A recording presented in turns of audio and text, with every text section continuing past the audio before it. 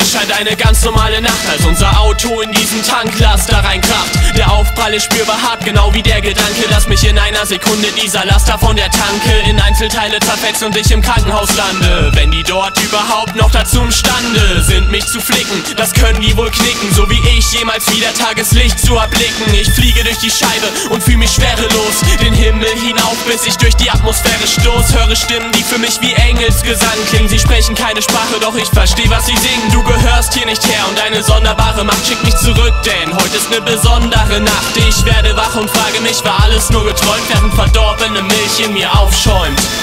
Es ist der Angriff der lebenden Toten. Wir stapeln eure Köpfe zu nem lebenden Totem. Ihr könnt euch verstecken und versuchen zu fliehen, doch ihr werdet verrecken, denn heute ist Halloween.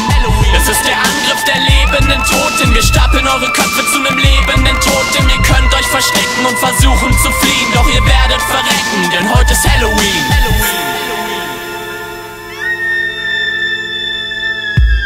Sie schrie, nachdem ich ihr den Kopf abgerissen hab, doch ich ließ sie liegen, denn ich war nach einem Bissen satt. Ich hatte keine Wahl, denn sie war einer von ihnen, die das Geschenk des Lebens einfach nicht verdienen. Und ich frag mich, warum ist die Welt kaputt? Selbst wenn sie untergeht, wird weiter Geld gedruckt. Ich will an diesem abgefuckten Zustand was verändern, also ziehen wir um die Welt, um das Blutbad zu vollenden. In jeder Stadt, jedem Dorf, überall, ganz egal wer es ist, der wird sofort überfallen. Wer soll sie denn erhören, eure zarten Gebete? Wir werden sie zerstören per Gartengeräte. Am Ende ist wie versprochen keiner mehr da. Bis auf die letzten Knochen wurden alle zermalt. Die Erde ist befreit, doch was machen wir nun? Wir haben ewig Zeit, doch leider nichts mehr zu tun.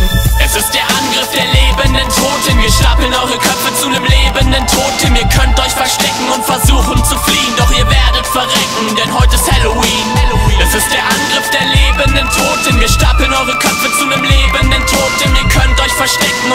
versuchen zu fliehen, doch